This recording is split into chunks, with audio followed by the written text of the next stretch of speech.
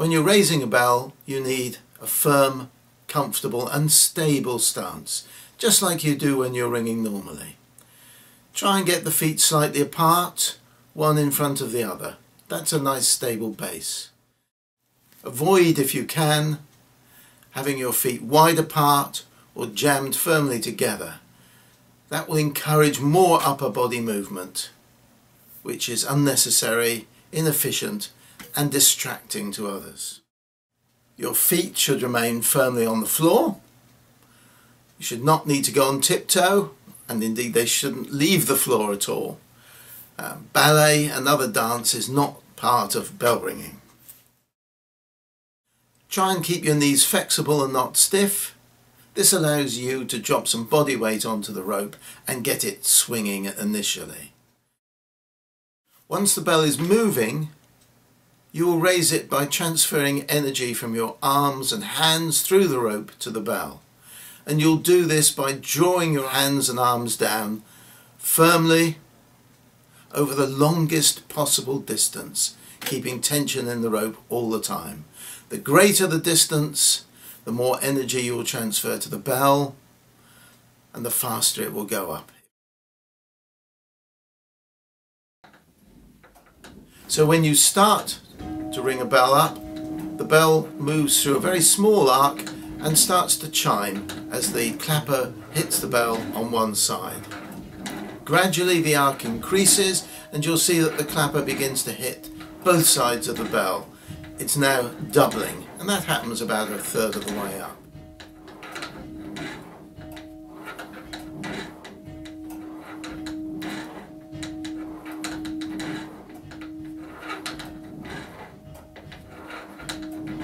Gradually after that the bell swings through a wider and wider arc until it's up.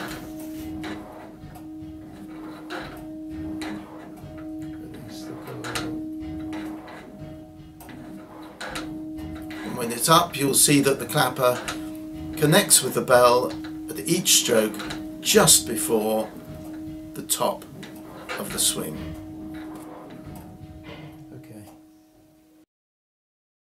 Before you take coils, it's essential that you check that the bell is down.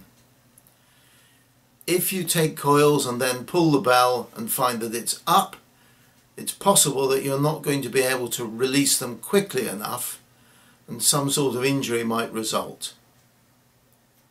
So the golden rule here is always check that the bell is down before you take coils. To do this, you take the tail end in your left hand in the normal way and with your right hand using just two fingers and a thumb you try and move the sally and make the bell swing. If it swings it's down and safe.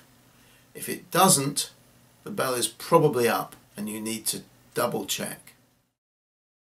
As a first step and using the principles of whole part whole skill development the first step for your new ringer is to get the bell halfway up from down without the use of coils.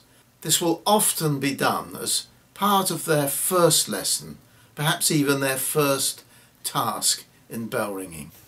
Here the teacher holds the tail end but ensuring that they don't interfere with the learner in any way and the learner raises the bell to about halfway. The teacher needs to make sure that the new ringer is learning how to keep tension in the rope, not just as it comes down, but also as it rises, slowing the hands down as they rise and accelerating them to draw the rope down. What you're teaching here is tension, making sure that there's a good connection between the hands and the bell for as long as possible. For this learner there is no tension. The hands are rising up before they are drawn up by the rope and the weight of the bell. So the rope is slack. As a result, there is little control and the sally is thrown forwards and maybe even all around the ringing chamber. It might be necessary to correct this by using physical, verbal or other prompts possibly even some physical assistance by putting your hands on the learner's hands to ensure that they feel the bell as it rises and they draw the rope straight down with tension as the rope descends. With this next exercise, our new ringer will ring the bell all the way up without coils and without using the sally under the guidance of their teacher. By doing this, they will get the experience of what it's like to ensure that there is tension in the rope even when the bell is fully up, without the added complication of having to manage coils or the sally.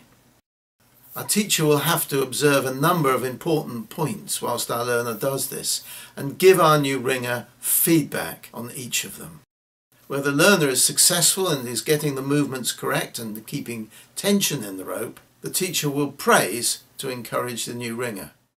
Where things are not correct, our teacher will give feedback and guidance and opportunity to practice and get things right. As the bell goes up and you slide your hands down the rope, a coil will get tight around your fingers and it's necessary to release the coil. If in doing that you release too much rope, then you have to take it up again by creeping or shuffling up the rope until your hands are together and you have full control again over the bell. The biggest issue and danger lies with release of the last coil when the bell is nearly up. It's very important that you do not allow the bell to go over the balance or set it unless you're ringing it correctly with both hands on the sally and without coils. If there's no stay on the bell, or you bump it and break it, then you don't want the bell to go over the balance when you have coils in your hand. So the challenge is to find a simple way of releasing the last coil which allows your hands to stay in the same position. That way you're not going to suddenly release unnecessary rope. At the very bottom of the backstroke you can release the tail end by opening your left thumb and it will fall forward and out of your hands. Your hands then are in the same position, no extra rope has been released and the exercise has been carried out simply and efficiently. If your hands don't go down far enough, you may have some difficulty in releasing the tail end. Some people call it a flick and give their left hand a little flick to push the tail end forward. But generally speaking, the dynamic movement of the bell and your hands and arms is enough to allow the tail end to be released. This can be practiced without the bell moving by the teacher and learner working together. The teacher needs to be high up and to make sure that the learner draws the rope straight down don't be tempted to demonstrate it or to practice it by pushing the learner's hands forward in a horizontal position because that's what will happen when they do it in real life.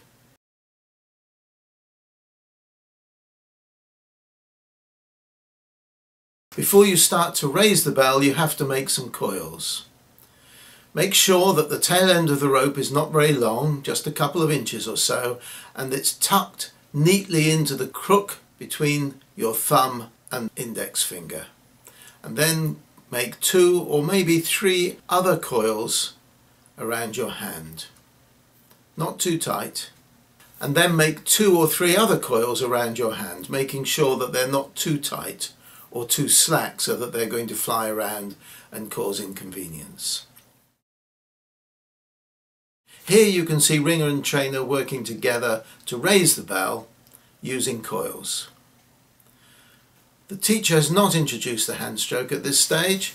Possibly the learner has not rung a hand stroke yet and certainly not both strokes together. That comes much later. But you can teach someone to raise even in the early stages with coils but without the added complexity of the hand stroke.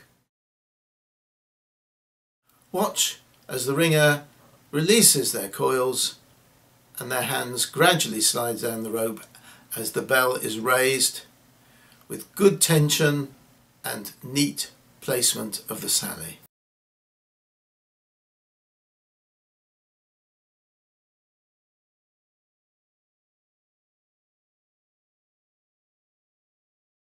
And finally, of course, the new ringer is able to do the complete process on their own.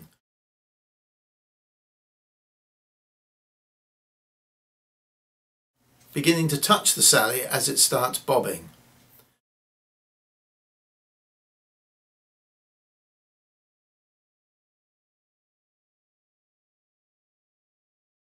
Eventually, of course, they're able to ring the sally with one hand.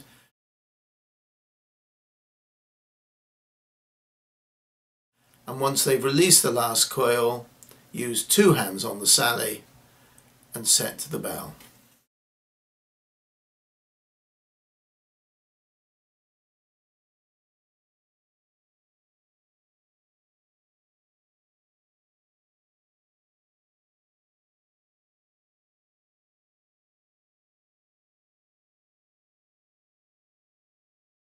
Of course, not everything always goes according to plan, and sometimes you can get a bell up wrong. That means that the clapper is on the wrong side of the bell when it's up. It's on the high side of the bell's lip and not the low side. This can make a difference to the feel of the bell and the sound of the bell. When the clapper strikes the bell to produce sound, clapper and bell are moving in the same direction.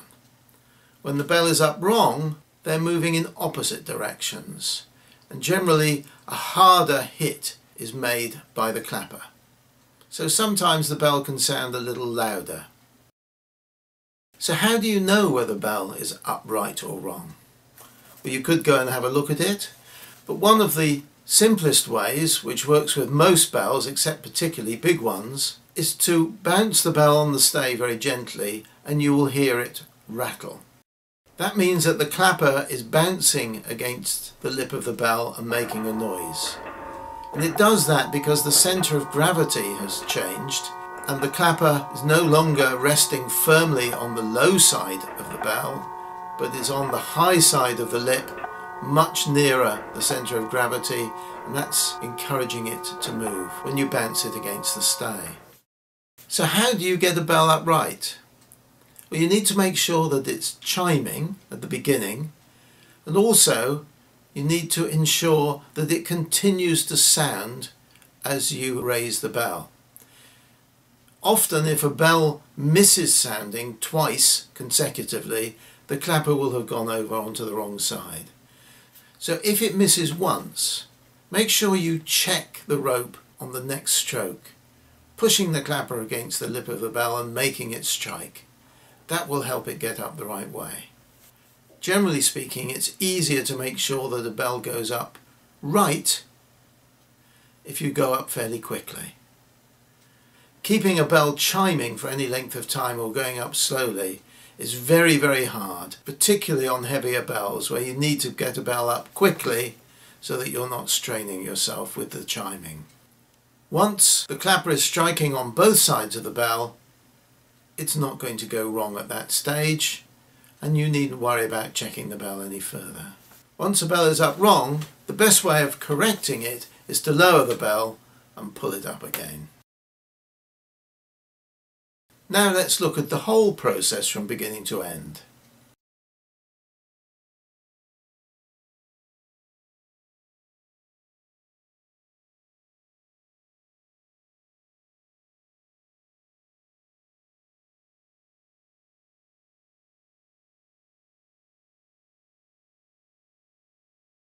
Our teacher continues to watch the learner's progress and style and will give feedback and assistance and the opportunity to practice where he sees things are not quite right.